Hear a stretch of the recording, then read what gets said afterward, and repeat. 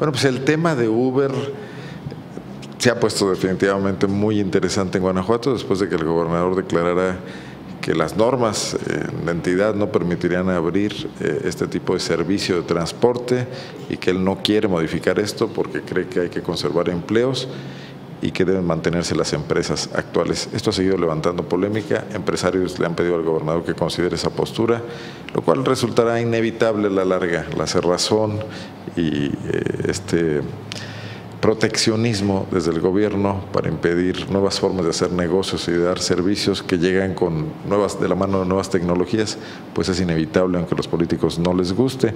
Hoy Denise Hernández, mi compañera aquí en Zona Franca, estuvo trabajando el tema porque bueno, pues hay también ya reacciones de quienes serían pues los principales damnificados si un concepto como Uber empezara a funcionar en nuestra entidad. Denise, bienvenida. Gracias, buenas tardes. Así es. El día de hoy, Línea Dorada convocó a una rueda de prensa, fue su presidente José Luis Guerrero Mendoza. A ver, ¿es una empresa, es un sindicato? ¿Cómo es una asociación, asociación civil. Es una asociación civil que reúne, me parece, alrededor de 500 taxistas que operan en la ciudad de León. Al menos aquí en León son 500 taxistas. Y bueno, lo que... ¿Y está en otras partes del Estado? Sí, me parece que es una asociación estatal. Y la cosa es que hoy se oponen a, la llegada de Uber, me parece que es ya inminente la llegada de esta empresa, pero ellos se oponen y mencionan diversas razones para hacerlo y, y pues pintan sus motivos, ¿no? Y aseguran que se, corre, se corren perdón, diversos riesgos si la empresa llega a establecerse en la entidad. Si podemos... Bueno, que Uber no es propiamente una empresa como tal. O sea, la, aplicación que se maneja en los teléfonos celulares probablemente esa sí sea desarrollada por una, empresa, Por, un, por un empresario de, de, nuevos, de tecnologías de la información y la comunicación. Pero la forma de funcionar es otorgar este, este, esta aplicación para que por una parte, propietarios de automóviles emprendan su propio negocio eh, basados en la, capacidad que les da esta aplicación para relacionarlos directamente con sus clientes y los clientes tengan una base de datos de prestadores de un servicio y se da una relación directa sin intermediación. Así es. Efectivamente sí existe un operador, sí existen oficinas, sí existe un lugar en donde Uber pues opera, válgame la redundancia, pero pues finalmente lo más importante, como usted menciona, es la aplicación misma y esto la gente de, línea dorada la ve curiosa, lo ve curiosamente como un, riesgo para el usuario. Si podemos poner por favor el segundo inserto que, mandamos. Estamos en, esa tesitura y así lo vemos. ¿Qué riesgos más tiene? Pues la clonación de tarjetas, la extorsión por, por conocer la identidad del usuario, choferes no son identificados, es una empresa extranjera fantasma que no la puedes tener físicamente ni con quien puedas en un momento dado presentar una denuncia, a lo contrario que nosotros aquí estamos visibles y podemos corregir y enmendar los errores que se vayan visualizando, que son vehículos particulares que no garantizan el seguro del viajero, muy delicado. Eh, no invierten, eh, este, hacen socios y hacen dinero a costillas de otros, se los decía hace un momento. El riesgo pues es eh, latente de que se incremente la inseguridad por carros particulares. A contrario de los hoy eh, que prestamos el servicio de manera regular, que quede claro, somos vehículos totalmente identificados, eh, debidamente regulados por la ley y el reglamento de tránsito y transporte. Somos sujetos antidoping, aquel que se le ha detectado este, tomando sustancias psicotrópicas o de, alguna otra droga, se le manda, según el grado, se le manda a una este, capacitación, a una, este, ¿cómo le llamamos? Rehabilitación. Correcto, una rehabilitación y así sucesivamente. Y, y, si es muy grave, pues ya se le quita de por sí la, la, licencia y no puede seguir prestando el servicio. Eh, somos choferes capacitados que traemos el, tarjetón a la vista y que ustedes pueden denunciar en tiempo y forma, ya sea a su organización o a gobierno del Estado. Entre otras muchas cosas que ustedes conocen, eso es lo, más trascendente. Bueno, José Luis Guerrero. Así es. Es el que secretario general, presidente, de, Línea, Dorada. Así es. Se están poniendo las pilas, ojalá el servicio mejore, pero bueno, pues lo que dice no tiene mucha, mucha razón, ¿no? Pues es, es muy curioso, porque a pesar de que están ellos pintando a Uber pues como el malo de la película, están intentando hacer algo similar a lo que hace Uber. José Luis Guerrero hoy sale y presenta pues su plan de, contingencia. Presentan una aplicación que se baja directamente a través de las App Store o no, sé cómo se llama en, ¿Y cómo se llama? Pero se llama Línea Dorada justamente. Están presentando esta aplicación. Lo que dice él es que funciona de manera similar a, a la de Uber no funciona a través de tarjeta de crédito como sí lo hace la de aquella empresa extranjera.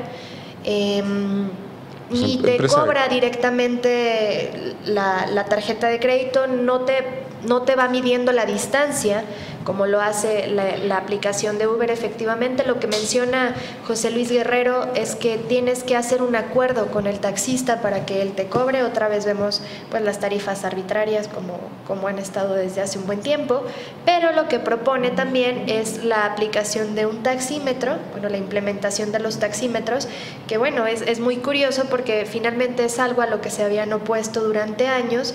Uber todavía no entra, pero ya los está haciendo cambiar su modo de operar. Y bueno, ¿ya presentaron coches nuevos? ¿Son los mismos coches de siempre? Mencionan que son autos recientes, de modelos recientes.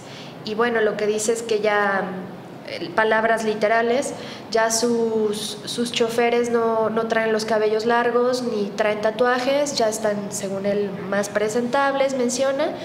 Y, y pues con esto ellos pretenden darle un pues mejor servicio. Él, él dijo él mismo a la gente VIP, así los, los nombró y deberían dársela a todo el mundo. ¿Mande usted? Deberían dársela a todo el mundo. Justamente ellos dicen que ahorita tienen... Ya, ya es un primer triunfo de las nuevas tecnologías y las nuevas eh, aplicaciones, ¿no? Sea Uber, sea hay otra que no pues. Lyft. Se abren, desde que se abren, ¿no? a la utilización de un taxímetro y al establecer una tarifa fija que como sabemos es una de las de los uno de los grandes reclamos de la ciudadanía el que mejorar su servicio. Justo, pero también el que establezcan aquí tarifas tengo ya más accesibles. Línea dorada, en efecto.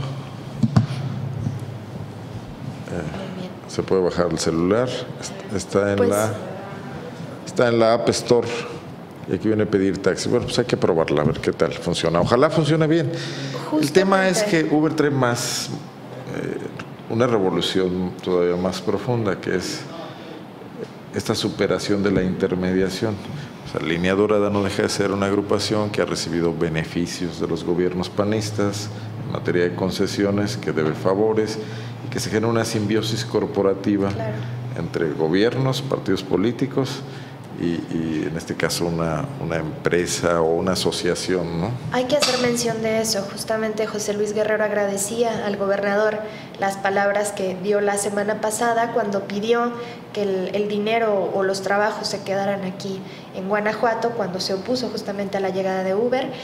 En unos minutos más mi compañera Carmen Pizano va a reportar lo que mencionaba el secretario de gobierno el día de hoy cuando dijo que el gobierno del estado no está completamente cerrado a la llegada de Uber, pero que sí les pediría que se ciñan a las normas locales. Hay que ver todavía cuáles son las modificaciones que se hacen en la ley de tránsito del estado.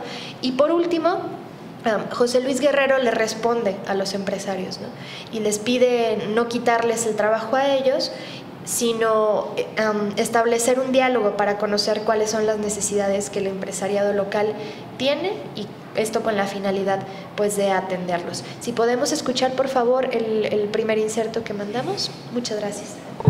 Decirles a la ciudadanía y a los empresarios, eh, eh, no se trata de quitarle el pan a unos para dárselos a otros. se trata de analizar cuáles son las necesidades y que nosotros, las organizaciones, eh, hagamos lo propio para corregirlas.